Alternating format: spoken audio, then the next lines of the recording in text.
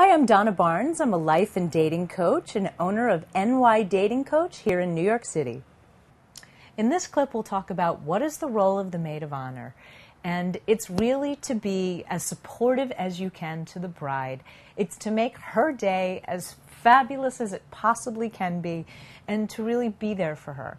Um, of course, you remember you've got to do the toast at the reception. So, um, in your toast, make sure that it's really a loving, warm statement all about her. I think sometimes bridesmaids get wrapped up in their own story of, um, which little stories about that are fun and how you came to know the couple and things like that. But make sure that your primary focus of your toast is about your girlfriend and the couple and the bride.